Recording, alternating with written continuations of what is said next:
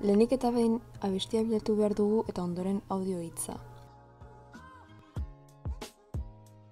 Bideoren esteka kopiatuko dugu eta ondoren beste fitxa batean bilatu YouTube MP3 eta lehen esteka irekiko dugu.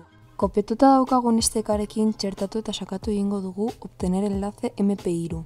Hori egin ondoren deskargarra botoiari ematen diogu eta bestia deskargatzen hasiko da. Orain letra bilatuko dugu.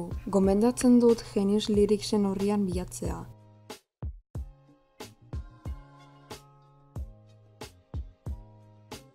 Jarraian letra kopiatuko dugu convertcase.netera joango gara eta hor txertatuko dugu.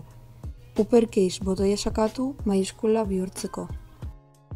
Jarraian, Pinterestera joango gara eta besteren kantuarekin bat datorren irudiren bat bilatuko dugu.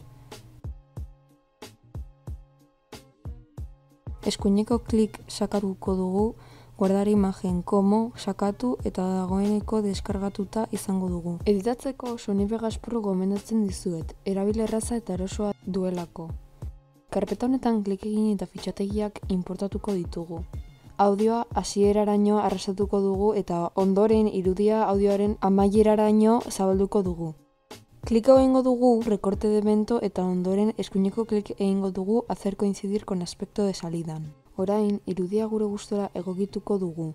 Leioa itxi eta aukera honetara joango gara. Eta irudiaren opagotasuna geisten utziko digu, letra nabarmenatzeko. Eskuineko klik egin eta bideo pista bat sartuko dugu. Ondoren klik egin generadores de medios aukeran eta hautatu titulos. Orain arrastaka goaz denboraren lerroaren hasieraraino.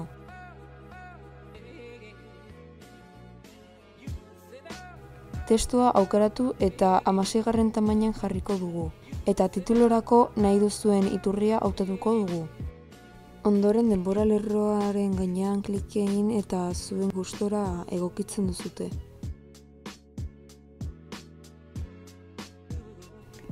Zuma egin eta desbanezimendua gehitzen dugu, sarreran eta irteeran. Mota ere alda daiteke, eskuineko klik egin eta nahi duzuena aukeratu. Orain agertzea nahi dugun denbora erreproduzitu eta doitzen dugu. Testu aukeratuko dugu, amasei garren neurria jarriko dugu eta iturria ariara izango da. Testu bihurtuta aukeratu kopiatu eta itxatx, letra lodia eta etzana aukeratu testu zentratua jarri. Era beran desbanezimentua gehitzen dezue eta irapen denbora doitu. Formatuari eusteko testu kuadera aukeratu, kopiatu eta itxatxi egiten dezue. Medio de origen. Ura aldatu ahal izateko. Eta prozesu bera egiten dezue letra osoarekin.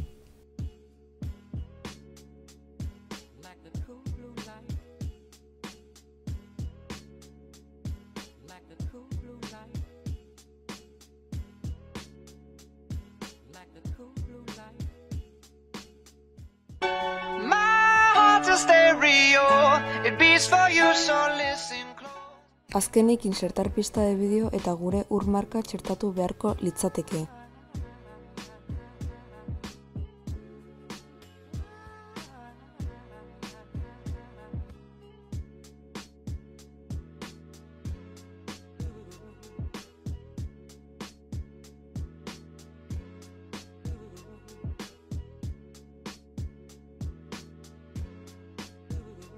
Hori egin ondoren klik egingo dugu audio pistan, lan guztia bi fitxa horien artean gira dadin.